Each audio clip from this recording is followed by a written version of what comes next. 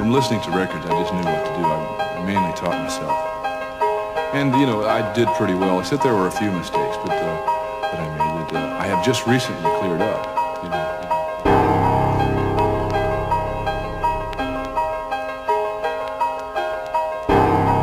To just continue to be able to express myself as best as I can on instrument.